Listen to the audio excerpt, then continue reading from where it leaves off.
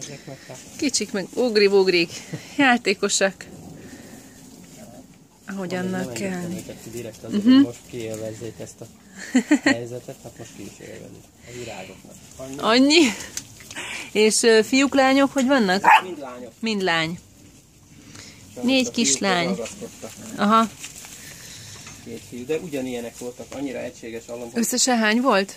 hat. Hat. Itt Aha. hat. Két fiú volt. A másik, És ez a négy lány. Aha.